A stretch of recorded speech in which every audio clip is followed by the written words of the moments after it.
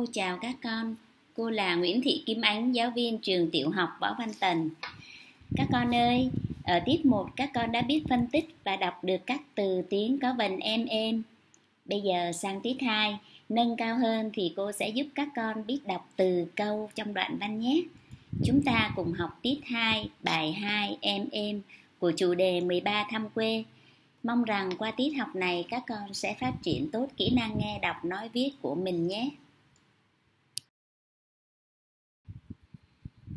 Trước khi bắt đầu tiết học, chúng ta cùng ôn lại các nội dung ở tiết 1 nhé. Các con đọc theo cô nào. E m em, n em nem, nem chua, e m em, n em nem nặng nệm, tấm nệm. Bây giờ cô tặng các em một câu chuyện rất là thú vị có tên là Mít đi tìm vần Trước khi kể chuyện, cô giới thiệu với các em các nhân vật có trong câu chuyện này nhé. Nhân vật chính của chúng ta là bạn Mít, mẹ bạn Mít, bà ngoại của bạn Mít và có cô giáo cùng tất cả các bạn trong lớp của Mít nữa. Giờ cô mời các con cùng lắng nghe nhé. Hôm nay lớp của Mít học vần em em. Các bạn trong lớp học tập và thảo luận rất là sôi nổi. Cô giáo cho các tổ đi tìm các tiếng có chứa vần em em, các bạn thi nhau phát biểu. Dạ thưa cô, sao đêm? Dạ thưa cô, trẻ em.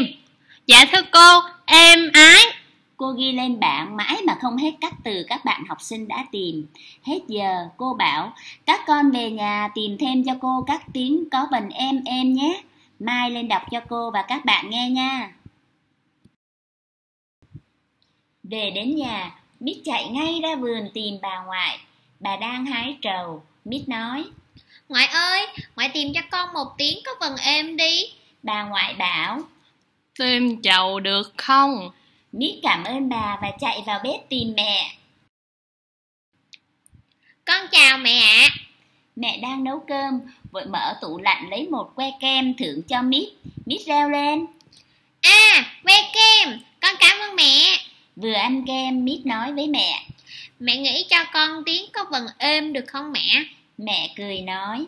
Đêm trăng êm đềm được không con? Mít phụng phịu. Mấy tiếng đó các bạn tìm được ở trên lớp rồi. Mẹ bảo. Thế thì hai mẹ con mình lên xem coi sách của ba có chữ gì mới không nhé. Thế là hai mẹ con lên phòng làm việc của ba, mẹ thì cầm quyển sách, chưa kịp mở ra thì... Ồ, có một phong thư dán một con tem rớt xuống đất. Mít vội vàng cầm phong thư đưa hai tay cho mẹ cất. Bỗng mẹ Mít la lên. Ôi chết rồi! Từ bếp bốc lên một mùi thơm nức. Mẹ buông sách chạy xuống bếp, vừa chạy vừa nói. Mắm nêm, mắm nêm! Mít cảm ơn mẹ và thầm cảm ơn cả nồi mắm kho vừa trào ra có mùi thơm nức kia. Câu chuyện của cô đến đây là hết rồi. Các bạn có thích không? Qua câu chuyện cô vừa kể, chắc chắn các bạn học sinh của cô sẽ cùng với bạn biết tìm được những tiếng có vần em em phải không nào? Bây giờ cô và các con cùng phân tích và luyện đọc các từ bạn biết tìm được nhé. À, hình ảnh đầu tiên là que kem. Nhắc đến kem là các bạn rất thích phải không? Vì đây là món ăn của tuổi thơ các con. Nhưng các con lưu ý nhé, chúng ta không nên ăn kem nhiều bởi vì sẽ làm cho các con xuống răng đó. À, que kem là một món ăn nhẹ, đông lạnh được làm từ sữa kết hợp với các hương vị khác nhau. Bây giờ các con cùng với cô đánh vần nào. Quờ e que, ca em kem, que kem. Các con đọc lại một lần nữa nào.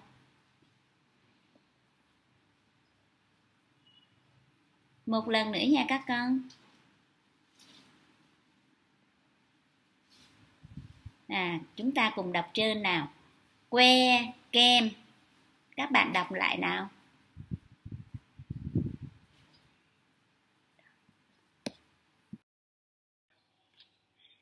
Trong câu chuyện lúc nãy cô kể, các con thấy có một cái bì thư rớt ra từ quyển sách thì có cái gì dán trên bức thư nào? À, cô thấy có một con tem dán trên bức thư. Vậy cô có từ con tem. Cô mời một bạn đánh vần cho cô. giỏi lắm các con lắng nghe cô đánh vần lại nhé cờ on con tờ em tem con tem các con biết là con tem là một mảnh giấy nhỏ có tên của một đất nước phát hành có mệnh giá khác nhau nhằm thông báo chi phí gửi thư hoặc là bưu phẩm đó các con hiện nay chúng ta liên lạc với nhau bằng điện thoại. Vì vậy, nếu như các con có ông bà ở xa, thì các con nên thường xuyên gọi điện thoại về thăm ông bà cho ông bà vui nhé. Các con đã có hai từ que, kem và con tem. Vậy bây giờ trong hai từ đó, các con tìm cho cô tiếng nào có vần em? À cô thấy có tiếng kem và tiếng tem có vần em. Như vậy, bây giờ các con có thể tìm cho cô một số từ có bình em và đặt câu với từ con tìm được nhé. Ví dụ như bây giờ cô có từ rèm cửa, cô đặt câu như sau. Mẹ mới mua một tấm rèm cửa rất đẹp. Hoặc là từ em bé, cô đặt câu là em bé cười trông rất đáng yêu. Các con nhớ đặt câu và tìm từ cho chính xác nhé. Trước khi qua từ tiếp theo, cô mời các con xem một đoạn clip nào.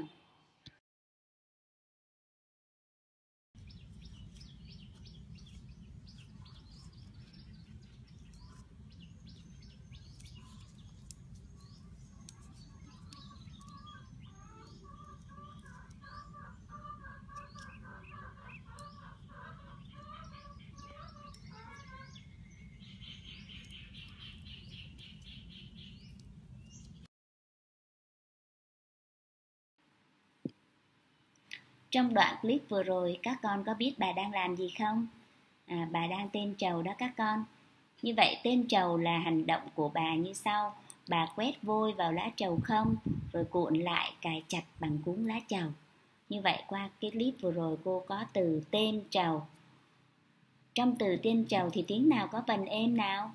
À, ta thấy có tiếng tên, có vần êm. Bạn nào phân tích được cho cô tiếng tên? Tiếng tên có âm tờ đứng trước vần êm đứng sau. Ta đánh vần như sau. Tờ êm tên trờ âu trâu huyền trầu tên trầu. Cô mời các bạn đọc lại nhé.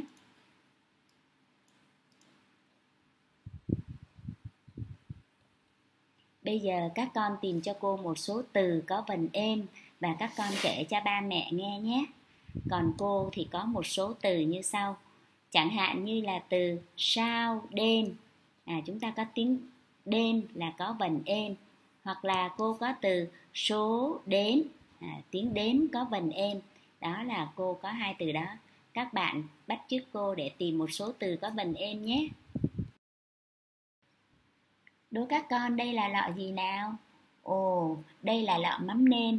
Thì các con biết rằng mắm nêm là một sản phẩm được lên men từ việc ướp muối con cá người ta pha thêm một số nguyên liệu như là trái thơm băm nhỏ, vắt một chút chanh, pha trộn với thính gạo hoặc là đường. Và người ta dùng cái pha trộn đó để mà ăn với bún rất là ngon đó các con. Như vậy cô có từ mắm nêm. Trong từ mắm nêm thì cô thấy tiếng nêm có vần êm. Ta đánh vần như sau. N êm nêm, mắm nêm. Cô mời các con đọc lại. Các con đọc giỏi lắm bây giờ các con đặt câu cho cô có từ mắm nêm. Cô có câu như sau. Ba mẹ em rất thích ăn mắm nêm. À các con tập đặt câu và nói cho ba mẹ để ba mẹ nhận xét câu của các con đúng hay sai nhé. Bây giờ các con cùng đọc lại các từ với cô nhé. Que, kem tên trầu, con, tem mắm nêm Tiếp theo chúng ta cùng chuyển sang phần luyện đọc đoạn văn nhé. Các con cùng lắng nghe cô đọc một lần. Chợ, quê, em theo bà đi chợ. Bà mua nem chua, mắm nêm, rồi hai bà cháu tới hàng rau quả. Đến đâu, ai cũng vui vẻ chào hỏi và gửi lời thăm ba mẹ em. Trong đoạn văn vừa rồi, các con tìm cho cô tiếng nào có vần em và tiếng nào có vần em. Cô thấy trong đoạn văn vừa rồi có hai tiếng em cũng chính là vần em. Rồi tiếng nem có vần em, tiếng nên có vần em. các con đánh vần lại nào e m em em n em nem nem n em nem nem e m em em, các con đánh vần lại cho cô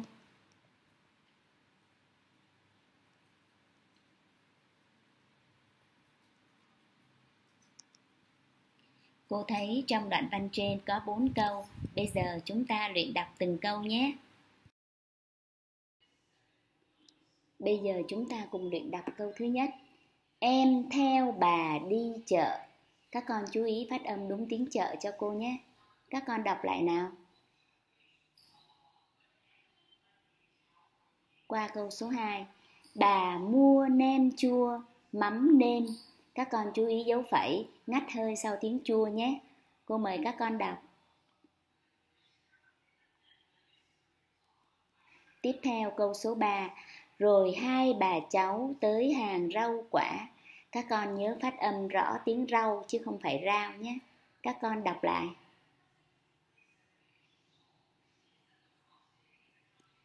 Các con lưu ý trong câu cuối cùng, các con thấy có dấu phẩy thì chúng ta phải ngắt hơi.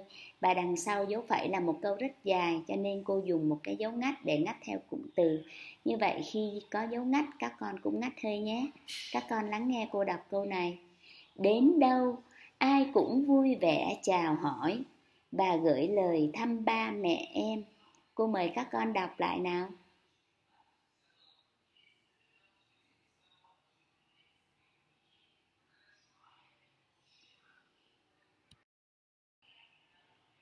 Bây giờ các con lắng nghe cô đọc lại bài nhé.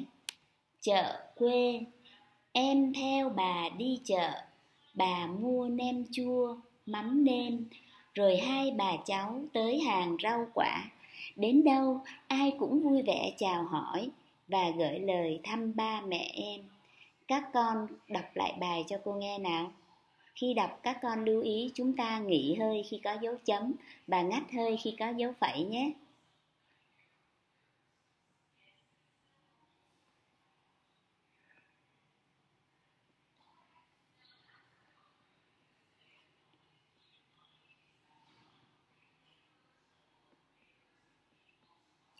Các con đọc giỏi lắm. Bây giờ chúng ta cùng đi tìm hiểu đoạn văn nào. Các con cho cô biết, em theo bà đi đâu? À, em theo bà đi chợ. Bà mua những gì? Bà mua nem chua, mắm nêm. Mọi người gặp nhau như thế nào? Mọi người vui vẻ chào hỏi.